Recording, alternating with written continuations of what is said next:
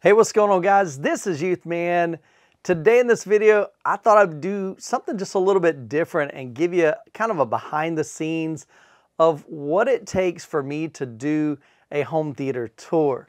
Now, if you've been following the channel, I love doing home theater tours. That's probably my favorite thing that I do here on the channel. Of course, I love reviewing gear and product for you guys that are looking at upgrading or maybe you're building out your home theater. I do love reviewing product. But one of the things I really enjoy doing is doing home theater tours. And one thing that happens here in Florida is there's not a ton of home theaters. At least you guys haven't let me know that you're here. Um, but with doing home theater tours, I found that there's a lot of awesome home theaters, but they just happen to be in other states. And so I'm finding myself more and more traveling. And so several months ago, about six months ago, I traveled up to Wisconsin and Illinois I did 12 home theater tours in just four days. It was crazy, but it was a whole lot of fun. I brought all my gear with me, my lighting, my camera, tripod, um, backpack, laptop, all that stuff with me. And I'm just a one-man guy doing this. And so that's produced some challenges. So kind of in this video, I want to share with you some of those challenges and some things that, that I'm doing to overcome those, but really just kind of give you a, a behind the scenes look at what it takes to make these type of videos happen for you guys. Um, after I finished with the Wisconsin and Illinois trip, a couple of months later, I went up to um, Kansas City. Now, Kansas City's got some really incredible home theaters as well. Had a chance to do nine home theater tours in I guess that was about four days as well. So that was a little bit easier to manage than 12 in four days. And then right after that, literally within a couple of weeks, I flew back up to Wisconsin and even drove about three hours from there down to Indiana. And I filmed two videos, which I'll be sharing with you here on the channel, probably in the next several weeks, um, sometime near the end of February. And that was a trip up to Perlisten headquarters to check out some really incredible uh, speakers for two channel as well as home theater. And then we drove three hours, probably southeast of that, to Indiana to a to film a home theater tour, um, a complete Perlisten home theater tour. Fantastic, really, really incredible home theater. Can't wait to share that with you with me now beginning to travel a lot more and I'm looking to do a lot more, I'm even going over to probably ISE, which is over in Europe. Uh, and I think it's in April. They had to postpone it. All of these travels, it's kind of challenging because here I have, you know, big lights and multiple lights and camera equipment and tripods and all this stuff. And figuring out a way to get that, you know, onto a plane when it's just me by myself carrying this. Um, how do I make that happen? And so, I, like I said, I just want to share with you kind of what that process looks like. And so, over the past couple of trips, um, the first trip was kind of tough because I probably spent several hours just trying to pack all this gear into a limited amount of luggage. And so, you know, on Southwest is which is which is what I usually travel on. And the biggest reason is they give me two free um, I guess, check-in bags. And so I can carry two of those with me. Then I can also carry uh, carry on on the plane and then like a personal item like a backpack. And so it kind of gives me the most um, capacity for bringing as much gear as I need to uh, without having a nickel and dime and charge me for extra baggage. But one thing I tried to do is I'm like, you know what? I really, since I'm going to be continuing to do this and traveling more and more, I'm a list kind of guy. And so in my phone, I actually um, wrote down a list. I took photos of where I put everything just to make it kind of easier, just to give you an idea of kind of what I pack and how much I have to pack when I do a trip like this. So in the largest suitcase, I bought some uh, suitcases that are red just so that it makes it easy to find at the airport when I see it coming around on the conveyor belt. But in the large suitcase, here's what I carry. I've got my Ronin S, which is my big, large gimbal that, you know, can take, you know, my camera. This is my backup camera, but I can put it on the, you know, the, underneath the camera and I can get these real smooth pans and uh, zooms and, and kind of walk around the room so it's real fluid for you guys and not kind of jerky all over, but it's a big case. So I put that in there. I've got two LED lights that go in there. Um, and then I also packed just a ton of little things. I've got anywhere from tripod stands, I've got extension cables, I carry a, a power outlet that allows me to plug everything in to, to charge even while I'm on set. I can be charging other batteries after I swap them out in my camera. I've got tripod and tripod head. And so all that kind of goes in the biggest carry, I mean, the biggest check-in bag. And so that goes underneath the plane. And then I carry a, um, a really small carry-on. So that's gonna go on the plane with me in the overhead bins. And I figure, you know what, I'm not dare trusting Southwest or any other airlines with my camera. Um, so I wanna make sure I have that on my possession at all times. So that goes in the small bag, but it's, it's a pretty decent sized bag. Um, and so all that has my camera in it. It's got memory cards. It's got extra batteries. It's got um, even my microphones that I'm using now. And all that goes in there. I've even bought a new kind of Rode handheld mic so that when I'm out and about, maybe at a trade show, I can physically, you know, have a handheld mic that I could pass around to somebody instead of having to clip them on, run the wire up their shirt and all that. Just makes it easier. And then I've got my, you know, this lens here, which is kind of a, a big lens, but it's just a backup camera just in case my main um, Canon R6 fails on me. And so I packed that all in there. And then I've got my little uh, backpack. And so my backpack, the carry-on, carries my MacBook Air uh, with the M1 chip. That's been a great computer for travel. I can be in the hotel room editing videos. Even on this past trip from Perlisten, I'm excited. I'm editing on the plane, which is kind of awkward. I mean, you're really tight quarters and it's not ideal, but I've got two hours, two and a half hour flight. So I get a lot of work done, productivity. And so that's been really cool to be able to do that. But I kind of carry all that. I've got some wireless headphones that I carry that allows me to, um, to edit on the plane. They're noise canceling from Photon. I've got, um, I did a review on those a while back. Fantastic headphones. They sound great. But having the wireless headphones um, and also having the noise canceling has just been really solid. But this past time, um, I was getting ready to go, well, not this past time, two times ago, two trips ago.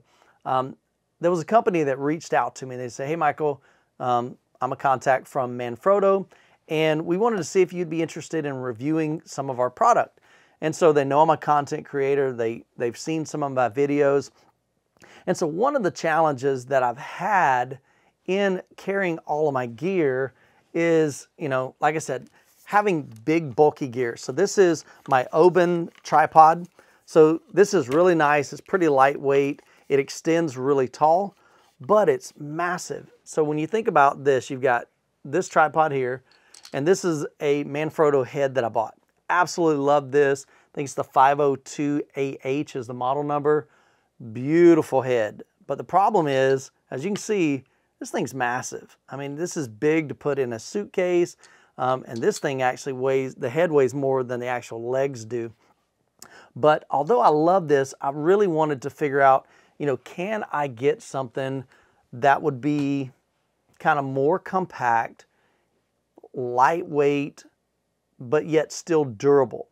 And so I know a lot of photographers, a lot of videographers, they use Manfrotto products, and I've been extremely pleased with this. Um, this tripod head just gives me really, really fluid motion, good pans, and, and just makes some really great B-roll when I'm talking about a product or when I'm reviewing a set of speakers. I can get those slow pans, get that nice buttery B-roll for you guys.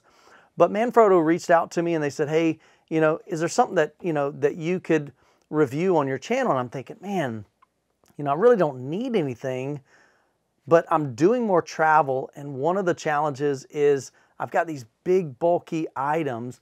Can we get something that's a little bit more compact? And so I looked on their catalog and, and they had a tripod and I said, you know what, if you could send me this, I'd love to check that out and see if it worked for these trips. And so I've been able to use this particular tripod over the past two trips and it's been really, really solid. And so I want to share with you a couple of things that I like about this. We'll talk about some things that maybe I don't like as much, but overall this little guy has been fantastic. And so I'm gonna jump off the camera here from this position. I'm gonna bring it over to the side so we can kind of take a look at it. I'll put both of these side by side so you can kind of see what we're working with. Let's just kind of go through, you know, what this has to offer and uh, how this has done some, you know, allowed me to be a better content creator and travel light, but yet still have something that's a really nice product. All right, so the first thing I wanna talk about is the compact size. So here we have my Oben tripod with the 502 AH tripod head. And here we have the Manfrotto Befree Live three-way advanced tripod. So this is a tripod as well as the head. So you can see here, it takes up probably half the size, which is super, super important.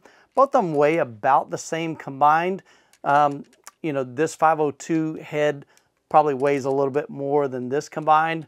So, but the biggest thing is that compact size. Now, this isn't a sponsored video, but Manfrotto did send this to me to review. So big thank you to you guys for doing that. So I just want to kind of talk about some things that I really like about this, some things that it has helped in my travels when I do content for you guys. So First thing, like I said, we've got really compact, decently lightweight. I mean, it's not carbon fiber, but it's definitely not super, super heavy. So fortunately, I don't have to carry this around like hiking or anything. But this is really a hybrid tripod. And what I mean by that is it's kind of designed for videographers as well as photographers. So maybe you don't do video, but maybe you do some photography. This is gonna work great for both of those. So I've got three legs extensions here. So these are just really easy to extend all the way out. So at first I was kind of concerned that these are really thin and it wouldn't be able to support my, um, my or actually right there, my R6, Canon R6 and the lens, but it's actually really sturdy once you get it all set up. So has a pretty good payload and I'll put the, the the specs up here on the screen because I don't have those memorized.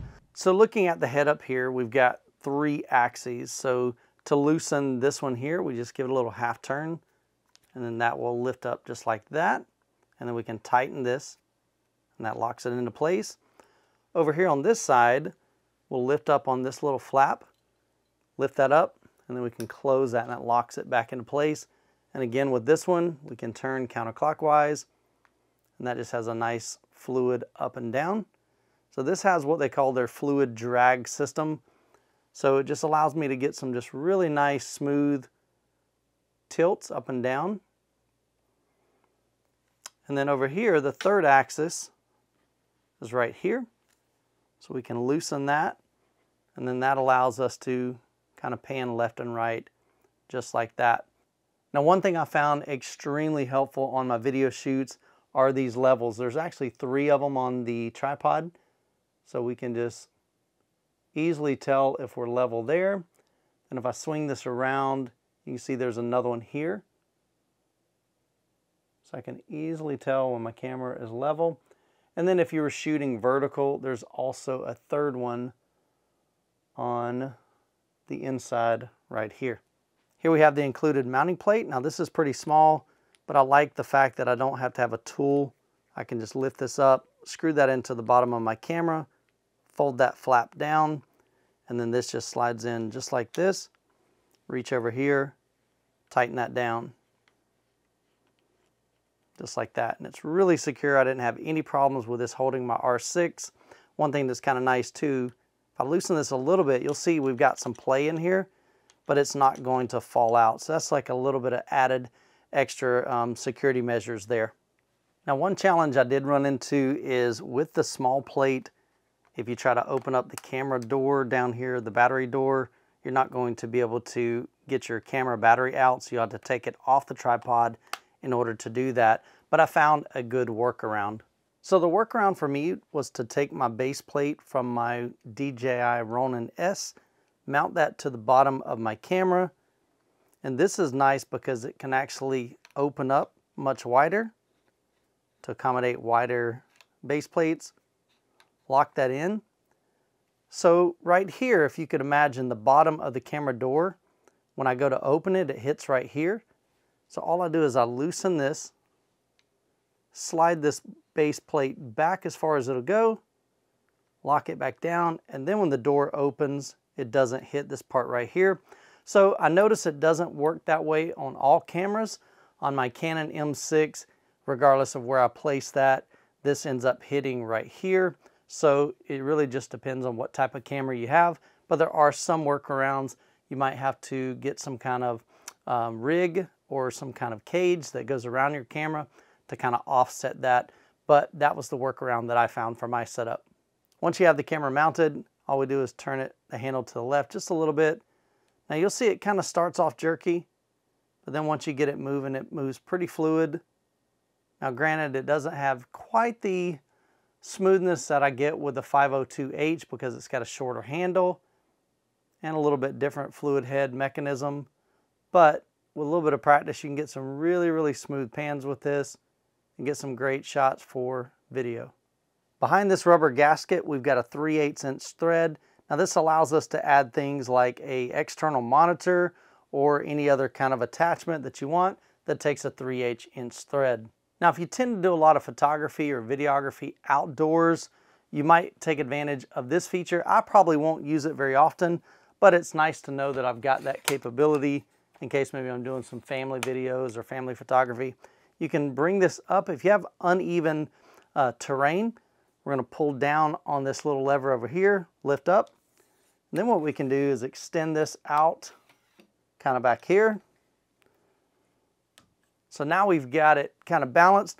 If you do something like this though, make sure you put some kind of sandbag or maybe some weight right here so that it doesn't topple over forward. And then being able to just easily come over here, find my level. Now my camera's perfectly level. With my previous tripod, I found myself all the time, even filming in here, a lot of times my horizon would be kind of unlevel. So I'd have to go into post, basically while I'm editing, zoom in a little bit and then rotate the image manually. Here I can make sure I get it right, right into the camera. And as you can see here, I can actually get really low with this tripod and I can get some just really, really smooth pans kind of from the bottom of a speaker panning up. Now I'm 5 foot 11 and as you can see with the camera mounted, it's going to be a little bit shorter. Um, so I may have to squat down just a little bit or bend over a little bit to uh, see through the eyepiece. Um, if you've got a screen like this, it makes it a lot easier. But if you're doing photography or videography and you're taller than six feet, this might not be uh, tall enough for you. So you might want to look at something that goes a little bit higher than this particular tripod. And the last thing I'll mention, it does include this carrying case.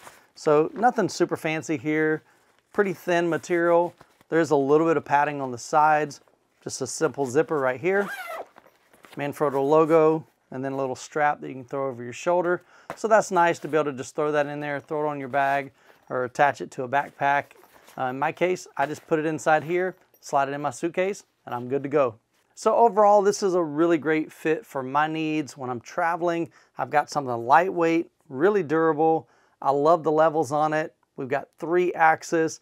I've got some decent fluid head movement so I can get some nice pans, some nice tilts, um, and not have to carry a big, massive tripod and tripod head. Well guys, I'll leave a link to this tripod down in the description below if you're interested in that for your videography or photography needs. And as always, you guys be blessed and we'll catch you in the next video.